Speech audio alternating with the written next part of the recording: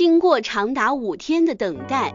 浙江卫视于八月二十五日上午十一点通过社交平台宣布了《中国好声音》的暂停播出。这一公告以一种充满艺术感的方式呈现，他指出了观众和网友对节目提出的疑问，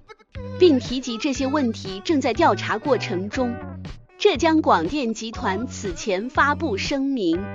承诺将以负责任的态度进行进一步的调查和核实，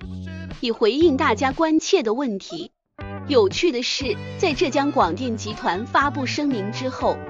有传言称节目将继续正常播出和录制，而现在的结果却与内部人士的说法大相径庭。这样的差异令人深思，值得我们进行思考和分析。让我们先来看一下浙江卫视这段简洁的表述，实际上具有很高的艺术性。尽管网友们对中国好声音存在的问题提出了明确的质疑，如导师和选手之间的霸凌现象，以及与李玟之间的冲突导致李玟在台上跌倒，还有关于五十万一个座位的爆料。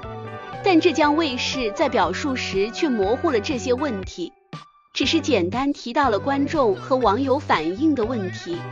没有详细说明具体的问题内容。另外，声明中也没有提及调查结果，也没有明确指出《中国好声音》是否存在问题，只是表示正在进行调查，这也是节目暂停播出的原因所在。其次，浙江卫视这次发声非常无奈。作为其旗下的招牌节目，《中国好声音》就像浙江卫视的骄傲之子，更是孩子中的佼佼者，备受期待，并且为电视台带来了可观的盈利。若能以某种方式平息风波，保住节目，相信便不会有停播的决定。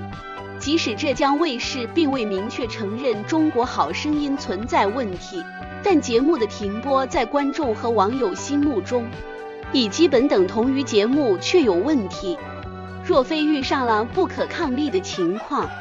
相信浙江卫视不会选择中断节目。这样的决定几乎相当于自扇耳光，必定会进一步削弱浙江卫视和《中国好声音》的公信力。那么节目停播将给各方造成何等损失？这将是多方面的。首先，会增加节目的录制和艺人的统筹难度，所耗费的财力和人力难以估量。中国好声音的期数已定，播出时间也确定，在节目播出之前，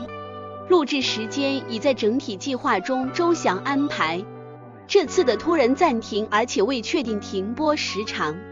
会导致后续节目无法按时录制。参赛选手或许能应对，但几位导师在早期签约时已明确约定了录制时间和时长，一旦合同签署，双方均会按照约定执行。节目的停播是节目组的问题。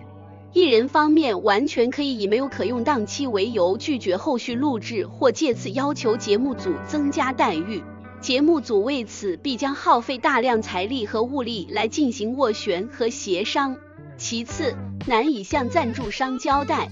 与艺人方面类似，节目组与冠名商或赞助商之间也存在详尽的协议条款，其中包括广告上线时间和频次。而眼下节目的暂停播出影响了广告的正常曝光，按理说品牌方完全可以要求退款或赔偿，一旦发生这种情况，损失就难以预估了。第三点损失在于节目的停播消息对股票市场而言是一项重大利空消息。据报道，与中国好声音相关的上市公司星空华文当天的股价下跌了百分之十六点三九。目前，该公司的总市值为两百二十一点五九亿，市值蒸发了超过三十六亿。而在充满光彩的六月份，